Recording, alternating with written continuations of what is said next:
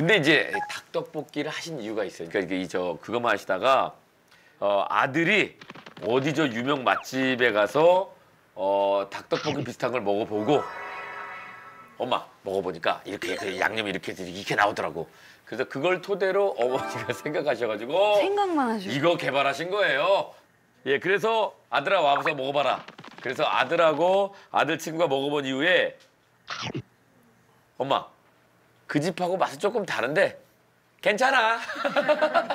그래서 컨펌을 줘가지고 폼이 떨어진 건가요? 닭떡볶이 우리 아들이 추천해준 거 우리 아들의 아이디어로 새롭게 만든 거 닭떡볶이를 지금 메뉴 게시하신 어, 거고요. 예, 근데 아 이 집도 자녀가 셋이네.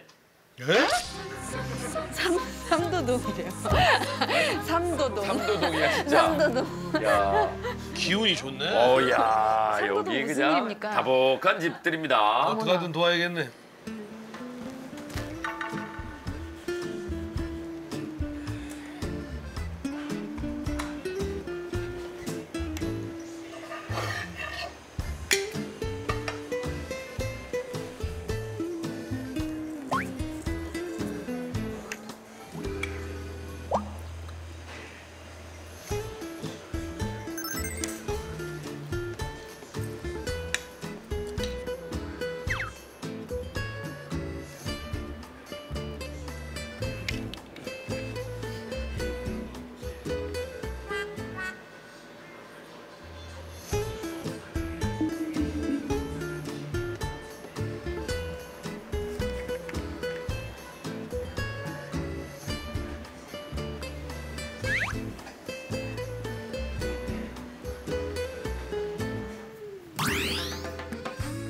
어 닭떡볶이